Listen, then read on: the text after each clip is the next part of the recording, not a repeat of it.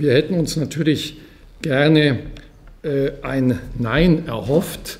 Es ist ein Ja-Aber geworden und auch das Aber ist uns sicherlich zu klein.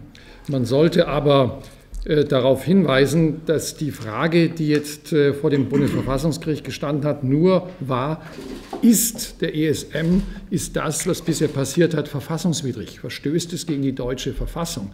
Es ist keine Entscheidung, das hat das Gericht ausdrücklich nochmal gesagt, über die Zweckmäßigkeit und Sinnhaftigkeit des Rettungspakets das muss die Politik entscheiden. Also hier geht es jetzt nur um die Rechtsfrage und die Verfassungsfrage, nicht ob etwas politisch gut oder schlecht ist. Und da bleiben wir als Freie Wähler natürlich bei unserer Meinung, dass diese Rettungsschirmpolitik, so wie sie ausgestaltet ist, schlecht ist. Da ändert das Verfassungsgerichtsurteil auch nichts daran.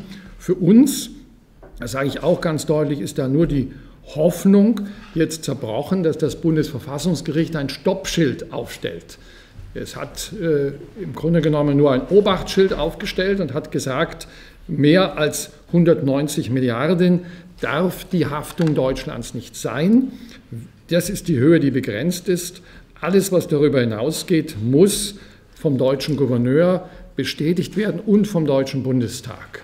Äh, das heißt, das ist kein Stopp, das ist nur ein Obachtschild. Das ist uns zu wenig. Wir fordern aber gerade auch jetzt die Politik auf.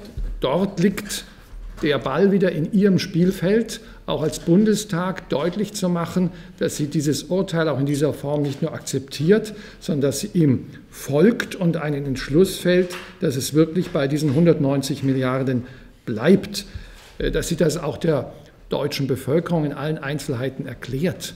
Denn wir sind aktuell durchaus in einer Vertrauenskrise, was die Europapolitik anbetrifft. Und das wird auch die Aufgabe der Freien Wähler sein in der Zukunft äh, in zwei Richtungen. Zum einen die Bevölkerung zu informieren und aufzuklären, das machen wir schon, und zum Zweiten natürlich unsere Politik fortzusetzen, die kritisch gegenüber der Rettungsschirmpolitik ist und zu versuchen, äh, dass die Verträge zumindest verändert werden. Und wenn das nicht, dann strikt eingehalten, denn die Geschichte des Euros hat bewiesen, dass sie eine Geschichte der Rechtsbrüche ist. Und so kann das nicht weitergehen. Danke.